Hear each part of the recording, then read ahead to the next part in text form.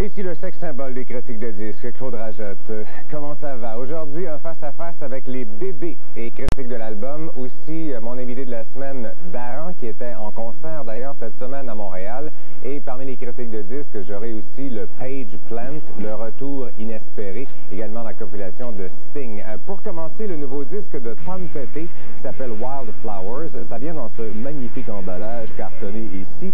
Et euh, c'est Tom Petty solo, mais quand même avec ses deux acolytes de toujours, Badman Finch et aussi Mike Campbell, avec qui il travaille depuis à peu près une vingtaine d'années. Il y a un départ quand même, c'est le batteur Steve Lynch, Stan Lynch, pardon, qui travaillait avec Tom Petty depuis à peu près 19 ans. Pour l'occasion, ils ont décidé d'engager un batteur de studio qui est Steve Ferron, un nom que vous allez sûrement retrouver sur quelques disques à la maison, qui est un très bon batteur. Il y a aussi Ringo Starr, ex-Beatle, hein. quand même, c'est pas le super batteur, mais c'est intéressant quand même, sur la chanson To Find a Friend.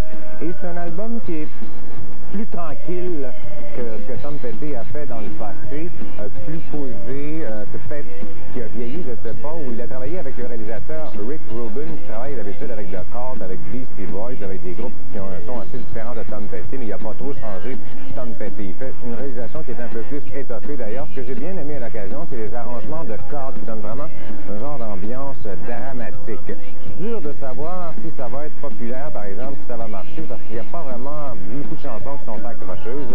Il y a You Wreck Me que j'ai bien aimé, mais c'est pas la chanson qu'ils ont choisie pour faire le premier clip. Il y en a une qui ressemble à du Creedence Clearwater Revival, rappelle un peu la sensibilité de George Harrison. Il n'y a pas trop changé. C'est un très bon disque que je vous conseille. Comme cas, je